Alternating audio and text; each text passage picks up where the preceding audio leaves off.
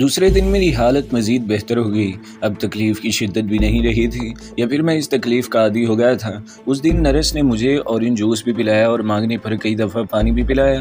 दोपहर के वक्त डॉक्टर अजय आया तो इसके साथ पुलिस का एक इंस्पेक्टर भी था। इसकी शक्ल पर नहूसत बरस रही थी और वो चेहरे ही से काम चोर जालिम और रिश्वत खोर लग रहा था। डॉक्टर अजय ने मेरा मुआयना किया, फिर पुलिस इंस्पेक्टर से बोला, मैं आपको सिर्फ़ दस मिनट दे सकता हूँ। ओके, इंस्पेक्टर ने जवाब दिया। डॉक्टर कमरे से बाहर निकल गया तो इंस्पेक्टर मेरी तरफ़ मुतवजा हुआ कैसी तबीयत है, मिस्टर कामरान? मतलब की बात करो, इंस्पेक्टर मैंने बेजारी का मुजाहरा किया तुम्हें यहाँ क्यों भेजा गया है? इंस्पेक्टर भुना कर बोला वो बिला तमहीद मतलब की बात पर आ गया। मुझे तुम ही लोग यहाँ लाए हो, मेरे लहजे में तमस्कर था। मुझे आते वक्त होश ही कब था। मैं ज़्यादा बकवास सुनने का आदि नहीं हूँ, इंस्पेक्टर हलक के बल धाड़ा।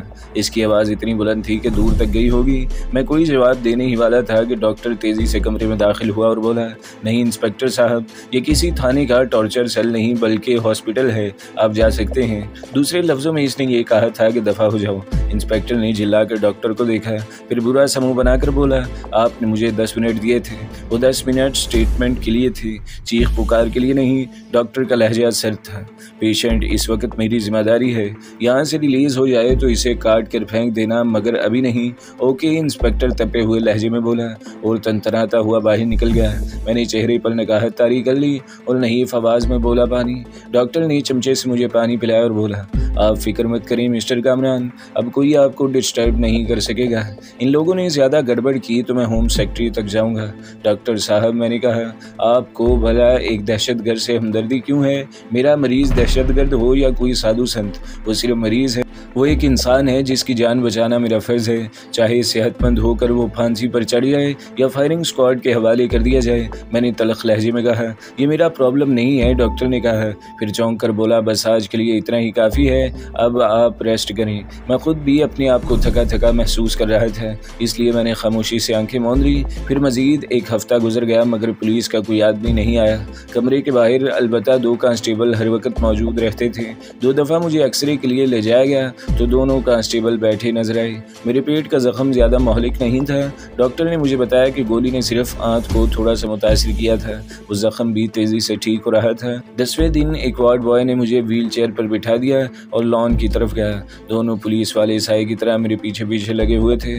वार्ड बॉय ने मुझे पूरे लॉन के चक्कर लगवाया और थोड़ी देर बाद कमरे में ले गया। फिर इसने बहुत एहतियात से मुझे बेड पर लिटा दिया। दो हफ़्ते मजीद गुजर गए। इस दौरान में न पुलिस आई, न ग्लोरिया ने शक्ल दिखाई।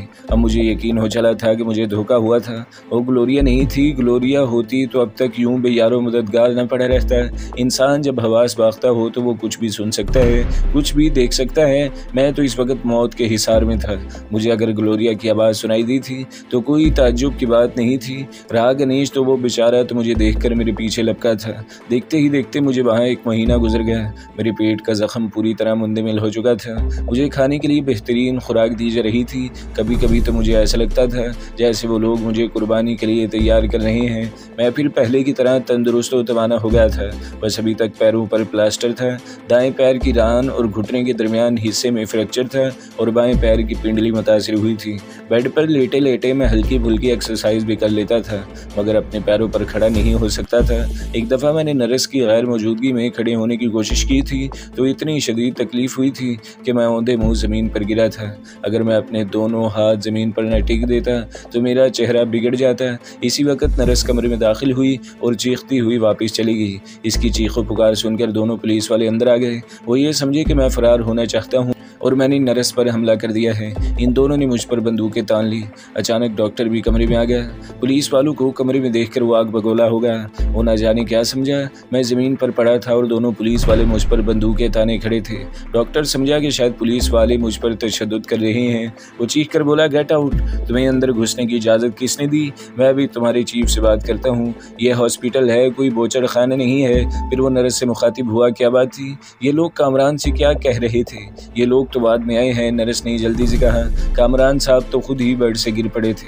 पलक झपकते में डॉक्टर मामले की तय तक पहुँच गया। इस दौरान में पुलिस वाले बाहर जा चुके थे। डॉक्टर ने मुझे उठाकर बेड पर लिटा दिया और सख्त लहजे में बोला, ये क्या हरकत थी, मिस्टर कामरान? आपने बेड से नीचे उतरने की कोशिश क्यों की? मैंने सुना है कि आप पढ़े लिखे आदमी हैं। मेरी बात समझ गए होंगे, मगर आप तो सॉरी डॉक्टर, मैं ये देख रहा था कि मैं अपना वज़न उठा सकता हूँ या नहीं। तकलीफ़ तो नहीं हो रही है, डॉक्टर ने जल्दी से पूछा। बहुत शदीद तकलीफ़ हो रही है डॉक्टर मैंने जवाब दिया वाकई मुझे शदीद तकलीफ़ हो रही थी। डॉक्टर ने इसी वक्त नर्स को हुक्म दिया कि कामरान का एक्सरे कराओ। वो तो गनीमत था कि मैंने चलने की कोशिश नहीं की थी। एक्सरे में भी कोई ख़ास बात नहीं थी, बस मेरी तकलीफ़ बढ़ गई थी। डॉक्टर ने बताया कि अगर अब चलने की कोशिश की तो रिकवर होने में इतना ही टाइम मजीद लगेगा। मैंने इससे वादा किया कि आइंदा ऐसी हरकत नहीं करूँगा। उस दिन मेरी आँख खुली तो एक नई नर्स कमरे में मौजूद थी। वो भी खासी हसीन और तुरादार लड़की थी। मैंने सोचा, हॉस्पिटल की इंतज़ामिया में कोई बाजोक आदमी शामिल है जो छाँट छाँट कर हसीन चेहरे यहाँ लाया है। मैंने गौर से इस लड़की का जायज़ा लिया और दरमिया कद और मुतनासिब जिसम की मालिक थी। इसके खूबसूरत चेहरे पर एक मासूमियत सी थी। वो मुझे ऐसी अकीदत और एहतराम से देख रही थी कि मैं शर्मिंदा होकर रह गया। इसके यूँ देखने पर मुझे उलझन भी हो रही थी। मैंने सर्द लहजे में पूछा, क्या बात है? तुम क्या कहना चाहती हो मुझसे? आप कामरान साहब है ना? इसने मासूमियत से पूछा। मेरे दिल में आया कि मैं जवाब में कहूँ, मैं अमेरिका का सदर रिगन हूँ, मगर न जाने इसकी आँखों में क्या बात थी कि मैं इस पर तंज न कर सका। और कहा, बीबी, अब मैं कामरान कहाँ रहा? अब तो मैं एक नाकाम और नामुराद आदमी हूँ। कोई शख्स पुलिस की तहवील में रहकर कामरान हो सकता है। बहरहाल, तुम बताओ क्या कहना चाहती हो? मैंने नरम लहजे में पूछा। मैं तो यहाँ बहुत उम्मीदें लेकर आई थी, मगर आप तो खुद इतनी मायूसी की बातें कर रहे हैं। मैं बोला, तुम्हारी क्या मदद कर सकता हूँ? मैंने बुलंद आवाज़ में कहा, और तकिए के पास पड़ा हुआ सिगरेट का पैकेट उठाया और नरे से बॉल पॉइंट लेकर सिगरेट के पैकेट पर लिखा, हो सकता है पुलिस ने इस कमरे को पकड़ कर दिया हो, इसलिए जो कुछ कहना हो लिख कर कहो, वरना मेरी वजह से खाम खा मारी जाओगी। मैं कोई मोज़ शख्सियत, कोई मिस्टर या वज़ीर नहीं हूँ। तुम क्या समझ रही हो मुझे? वो क्या है कि आपके कमरे के बाहर पुलिस की गार्ड है। मैं समझी कि आप या तो कोई नेता हैं या कोई करोड़पति बिजनेसमैन। इसके साथ ही वो एक कागज़ पर कुछ लिखती भी जा रही थी। फिर इसने वो कागज़ मेरी तरफ़ बढ़ा दिया। इस पर लिखा था, मैं तफसील से सब कुछ लिख कर ले आऊँगी। प्लीज़ मेरी मदद करें। वो पढ़कर मैं बोला, तुम्हें गलत फहमी हुई है, सिस्टर। मैं करोड़पति बिजनेसमैन हूँ, ना कोई नेता या मिनिस्टर हूँ। मैं तो एक कैदी हूँ और मुझ पर दहशत गर्दी का इल्ज़ाम है। पुलिस के ये गार्ड मेरी हिफाजत के लिए नहीं, बल्कि मुझे फ़रार से रोकने के लिए हैं। तब तो वाकई मुझसे भूल हो गई, इसने जल्दी से कहा। मुझे दवा और इंजेक्शन देकर वो वापस चली गई। मैं काफ़ी देर तक इस नई नर्स के बारे में सोचता रहा। मुझे ये ख्याल आया कि कहीं वो पुलिस की चाल ना हो। इस लड़की का ताल्लुक पुलिस से भी हो सकता था। अपनी कमरे के बगट होने का शोशा तो मैंने यूँ ही छोड़ा था, वरना अस्पताल के इस कमरे को बगट करके पुलिस को क्या मिलता? मेरा कोई साथी तो मुझसे मिलने वहाँ आता नहीं था। फिर मैं किसी अजनबी से क्या गुफ्तु कर सकता था, जैसे पुलिस सुनती वो नर्स दूसरे दिन आई तो अपने साथ एक लिफाफा भी लाई थी। इसने खामोशी से वो लिफाफा मेरे सुपुर्द कर दिया। फिर मुझे दवा और इंजेक्शन देने के बाद चली गई। मैं तजस में मुबतला था कि आखिर इसने क्या लिखा है और जल्द से जल्द इसे पढ़ना चाहता था, मगर मुझे मौका ही न मिल सका। अभी तक डॉक्टर अजय भी राउंड पर नहीं आया था। डॉक्टर अजय के अलावा मुझे यह खदशा था कि कोई पुलिस अफसर मेरा बयान लेने ना आ जाए। दोपहर ग्यारह बजे के करीब डॉक्टर अजय राउंड पर आया। इसके साथ नई नर्स भी थी। वो पूरी उम्मीद नज़रों से मेरी तरफ़ देख। रही थी। इसकी आँखों में कई सवाल थे, मगर मैंने तो अब तक इसका दिया हुआ लिफाफा खोला भी नहीं था। वो जितनी देर वहाँ रही मुतव नज़रों से मेरी तरफ़ देखती रही, जैसे मेरी तरफ़ से किसी जवाब, किसी इशारे के मुंतजर हो। मगर जब मैंने किसी रद्दमल का इजहार न किया तो वो मायूस होकर वापस चली गई। डॉक्टर ने मेरा चेकअप किया और बताया कि आपने हैरत अंगेज तौर पर बहुत जल्दी रिकवर किया है और अब पंद्रह या ज़्यादा से ज़्यादा बीस दिन बाद मुझे अस्पताल से डिस्चार्ज कर दिया जाएगा। डॉक्टर के जाने के बाद मैंने कुछ देर इंतज़ार किया, फिर इसका लाया हुआ लिफाफा खोल लिया। इसने उर्दू की बजाय इंग्लिश में लिखा था। कामरान साहब, आप भी सोच रहे होंगे कि अजीब लड़की है खाम खा गले पड़ रही है। मेरी समझ में नहीं आ रहा कि अपनी बात कहाँ से शुरू करूँ। उर्दू मुझे लिखना नहीं आती और मेरी इंग्लिश भी इतनी अच्छी नहीं है, मगर मजबूरी है। खुदा करिए आप मेरी बात समझ जाएँ। मेरा नाम सलमा है। मेरे वालिद पुलिस में इंस्पेक्टर थे। वो इंतहाई फ़र्ज़ शनास और ईमानदार अफसर थे। इसी वजह से एक एम एल ए ने इन्हें कत्ल करवा दिया है। मुझसे छोटा एक भाई कॉलेज में पढ़ता है। इस पर इसी एम एल ए के गुंडों ने इतना तशद किया कि वो हमेशा के लिए माजूर हो गया। फिर इन बदमाशों ने हमारे घर पर हमला किया। मैं इस वक्त घर पर मौजूद नहीं थी। इन्हें दरअसल एक फ़ाइल की तलाश थी। अब्बा जान की तहवील में थी वो फ़ाइल। फ़ाइल की तलाश में उन्होंने घर का कोना कोना छान मारा। अम्मी पर भी ज़बरदस्त तशद किया। तलाशी में नाकाम होने के बाद उन्होंने अम्मी को भी कत्ल कर दिया। घर की तलाशी लेने के बाद शायद वो लोग मुतमिन हो गए। वो फ़ाइल अब्बा जान के पास नहीं थी, मगर असल में वो इनकी तहवील में थी। मुझे और अम्मी को इलम था कि वो इन खुफिया कागजात को कहाँ रखते हैं। इनकी अलमारी का पट अंदर से खोखला था और किसी स्क्रू ड्राइवर या नोकीली चीज़ की मदद से इनका एक हिस्सा अलहदा हो जाता था। मैंने वहाँ से निकाल ली। अब वो फ़ाइल मेरी तहवील में है। इसके ज़रिए ना सिर्फ़ वो एम एल ए बल्कि पुलिस के कई अफसर भी बेनकाब हो सकते हैं। इस वाक़े को एक साल हो गया है। मुझमें इतनी हिम्मत नहीं है कि वो फ़ाइल पुलिस के हवाले कर दूँ। मुमकिन है पुलिस कमिश्नर खुद भी इन जराइम में मुलवस हो। अपने माजूर भाई को देखती हूँ तो मेरा खून खोलने लगता है और दिल चाहता है कि इन बदमाशों को अपने हाथों से सिबा करूँ, जिन्होंने मेरे भाई का ये हाल कर दिया है। मैंने अखबारों में आपके बारे में पढ़ा तो मेरे दिल से बेख्तियार ये दुआ निकली कि या अल्लाह मुझे इस बहादुर और हौसलामंद शख्स से मिला दे।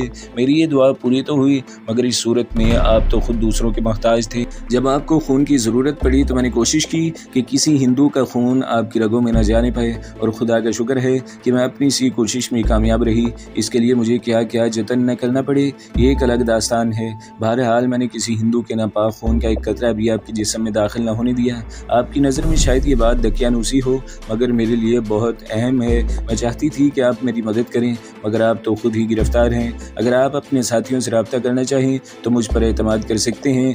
कोई मुझ पर शक नहीं करेगा। आप चाहें तो आपको अस्पताल से फरार भी करा सकती हूँ। मुझे आपके काम आकर खुशी होगी, फ़कत सलमा ख़त पढ़कर मैं देर तक तजब्जुब में रहा। न जाने क्यों मुझे यकीन नहीं आ रहा था कि सलमा ने जो कुछ लिखा है, सच लिखा है। अगर वो सब कुछ सच भी था तो वो आखिर मुझसे क्या चाहती थी? मुझे किसी भारतीय एम एल ए के गुंडागर्दियों से क्या दिलचस्पी हो सकती थी। मेरा वतन तो खुद इन मामला में खुद कफील था। भारतीय तो रिश्वत, चोर बाजारी और गुंडागर्दी के इन तरीकों का तस्वर भी नहीं कर सकते थे।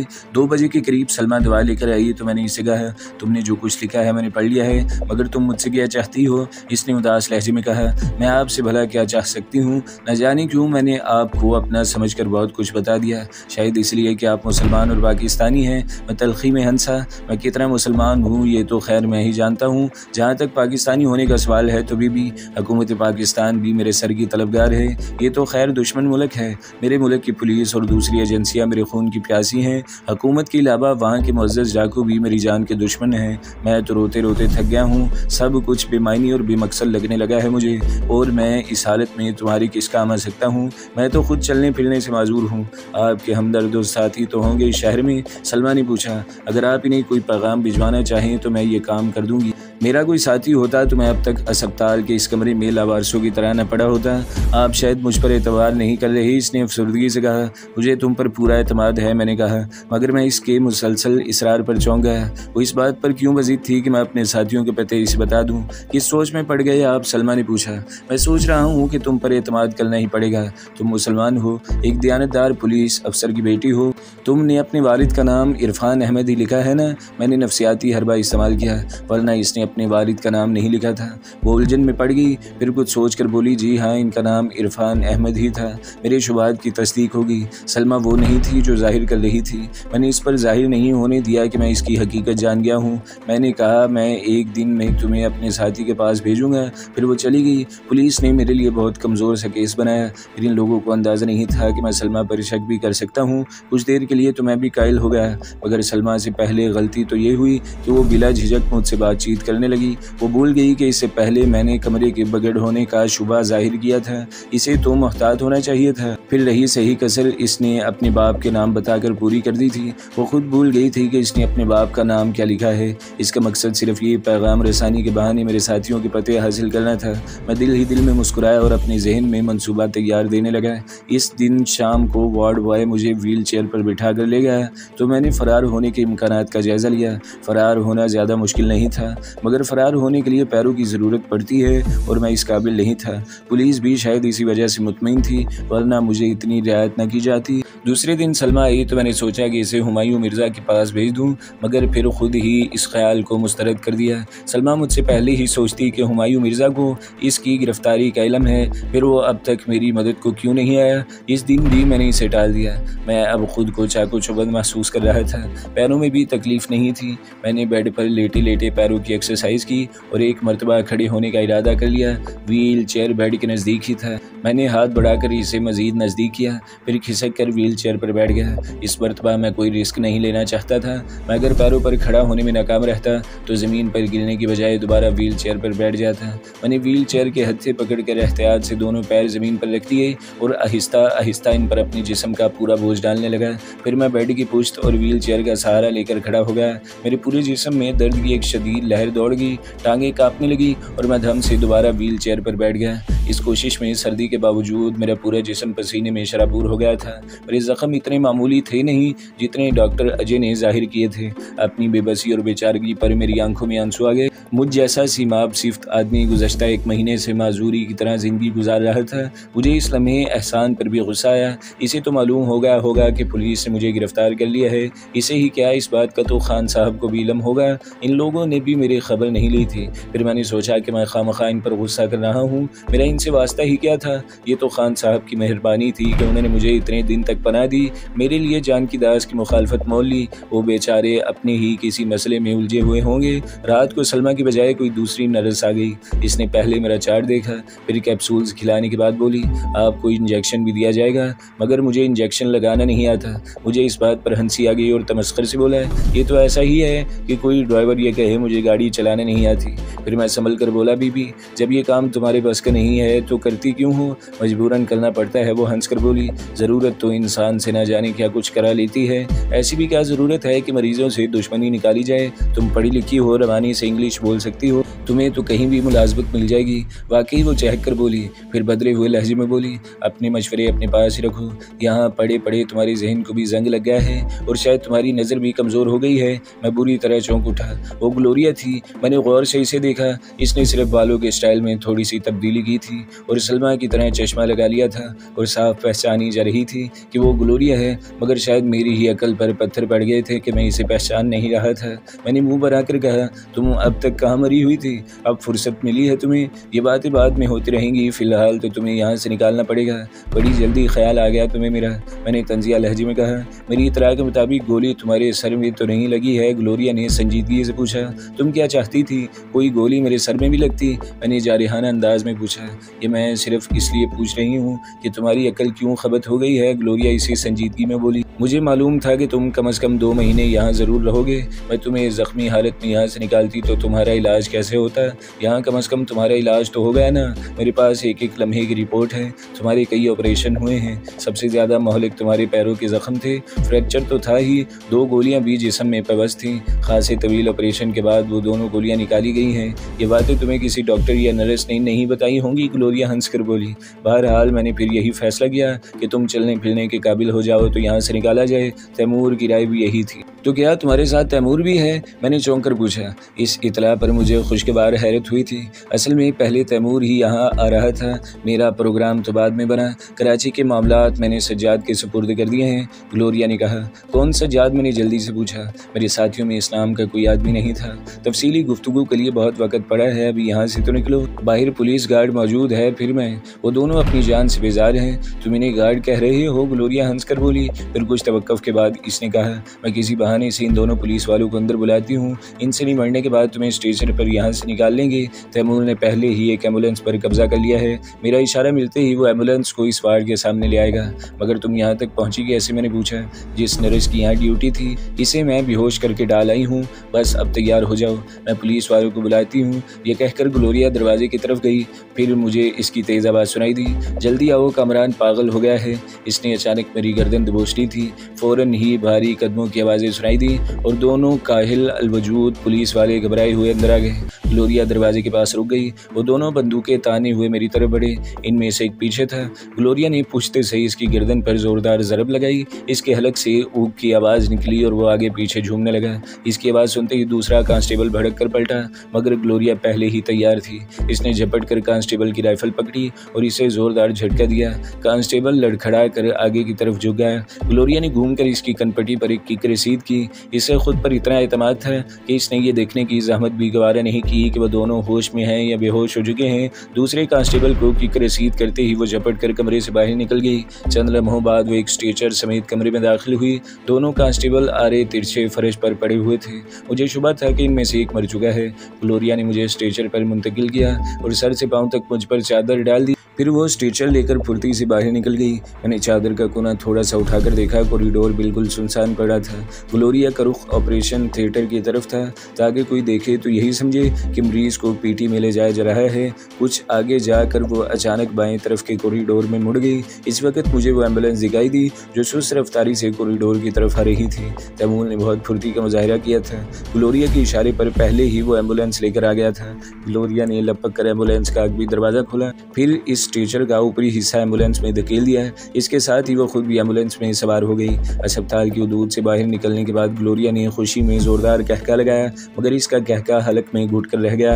एक सीट से कोई उछल कर बाहर निकला और इसने ग्लोरिया की कनपटी पर रिवॉल्वर रख दिया। हरकत करने की कोशिश मत करना, वरना तुम्हारी ये खूबसूरत खोपड़ी पाश पाश हो जाएगी। वो गुर्रा कर रवाई इंग्लिश में बोला, मगर लबो लहजे से वो मुकामी ही लग रहा था।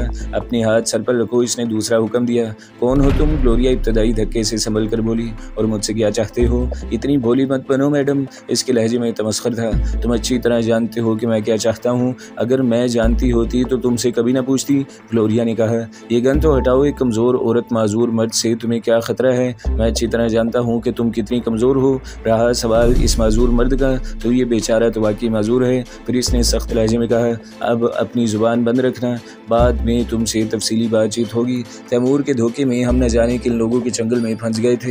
मगर तुम लोग हो कौन? ग्लोरिया झिल्ला कर बोली हॉस्पिटल की मैनेजमेंट इस बात को बहुत ऊपर तक ले जाएगी। खामोश रहो, रिवाल्वर बरदार हो रहा है। फिर एंबुलेंस में खामोशी छा गई। वो मेरे हाथों की पहुँच से बहुत दूर था, वरना अब तक मैं इसकी गर्दन नाप चुका होता, क्योंकि वो मेरी तरफ़ से बिल्कुल गाफिल था। शायद मुझे बिल्कुल ही माजूर समझ रहा था। गाड़ी तकरीबन एक घंटे तक चलती रही, फिर इसकी रफ्तार खासी कम हो गई। मैं समझा कि अब रुकने वाला है, मगर ड्राइवर ने इसे दाएँ तरफ़ मोड़ कर कच्चे रास्ते पर डाल दिया, और गाड़ी बुरी तरह झटके लगने लगी। तकरीबन दस मिनट तक इसी तरह ऊपर नीचे रास्तों पर चलने के बाद वो हमवार रास्ते पर चलने लगी, मगर वो भी पुख्ता सड़क नहीं थी, कच्चा ही रास्ता था, फिर शायद मुझे ऊँग आ गई थी। क्योंकि मेरी नींद तो इस वक्त टूटी जब एंबुलेंस धचके से रुकी थी। एंबुलेंस के रुकते ही इसका अकबी दरवाज़ा खोला, रिवॉल्वर बरदार ने ग्लोरिया को नीचे उतरने का हुक्म दिया। नीचे उतरते ही दो आदमियों ने इसे घेर लिया। ग्लोरिया के हाथ अब भी सर पर रखे थे। मुमकिन है इसके लिबास में कोई हथियार या बम वगैरह पोशीदा हो, मेरी तरह शायद ये ख्याल इस रिवॉल्वर वाले के जहन में भी आया था, जो वैन में हमारे साथ बैठा था। इसने अपने एक आदमी को हुक्म दिया कि इस लड़की की तलाशी लो। इनमें से एक ने इस से ग्लोरिया की तलाशी ली कि इसे कुछ भी करने का मौका न मिल सका। वरना मेरा ख्याल था कि ग्लोरिया इस मौके पर ज़रूर कुछ न कुछ करेगी। ग्लोरिया के पास से पॉइंट टू टू का छोटा सा एक पिस्टल बरामद हुआ। मुझे हैरत भी हुई कि ग्लोरिया माज एक खिलौने पिस्टल लेकर मुझे वहाँ से निकालने पहुँच गई थी। फिर मुझे ख्याल आया कि असल असला तैमूर के पास एंबुलेंस में होगा। मेरे कमरे के बाहर तो सिर्फ़ दो मरियल से पुलिस वाले थे, जिनसे ग्लोरिया खाली हाथ भी निमट सकती थी। ग्लोरिया से गलती ये भी हुई कि इसने बेहोश होने वाले पुलिस वालों की राइफलें वहीं छोड़ दी थी। अगर वो इनमें से एक राइफल भी ले लेती, मेरे साथ स्ट्रेचर पर रख देती तो मैं आसानी से सूरत हाल पर काबू पा लेता। यहाँ और कौन है? हमें लाने वाले ने नीचे खड़े हुए दोनों आदमियों से पूछा। इस वक्त तो हमारे अलावा और कोई नहीं है। इनमें से एक ने जवाब दिया। तो दोस्तों, अगली किस्तें सुनने के लिए हमारे चैनल को ज़रूर सब्सक्राइब करें, वीडियो को लाइक करें और बेल के आइकन पर भी क्लिक कर दें ताकि हर जो आने वाली वीडियोज़ हैं, वो आपको सबसे पहले मिलती रहें।